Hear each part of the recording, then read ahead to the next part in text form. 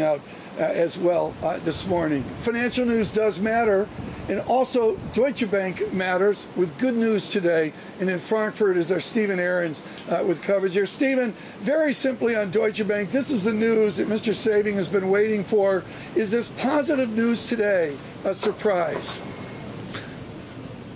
Uh, it's certainly a surprise. It certainly surprised Muck. markets. The stock's up, uh, was up as much as 9% earlier today on the news. That's the most since April last year, um, and certainly the most since Sewing took over, it took over in April. So, yes, uh, a big surprise, certainly good news for Deutsche Bank.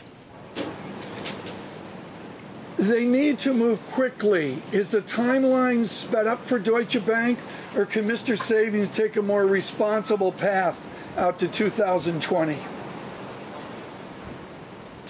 Um, there's still a lot of pressure on him, uh, despite the share um, surge today. They're still trading at very low prices, just over 10 euros now. Um, it was about 12, um, uh, sorry, 12 euros when he took over in April. Um, so he's still overseeing a decline in the share price, and investors are still demanding um, a quick return to profitability.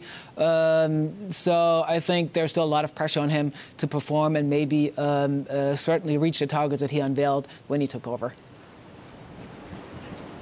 Uh, Steven, we're also seeing, of course, some job losses. We saw some cost saving. We saw trading a little bit better. We saw net income better. How much of it is actually down to the current chief executive, Mr. Sewing?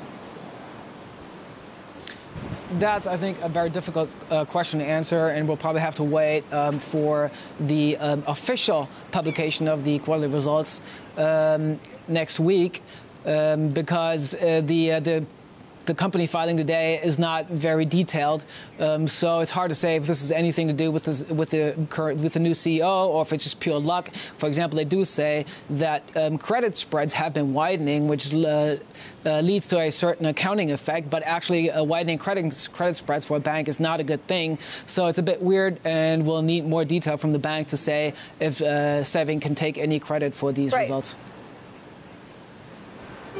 Right, but uh, Steve, do we know if at this point he has the backing of big shareholders? He's new in the job. He needs that backing if he's going to make a difference.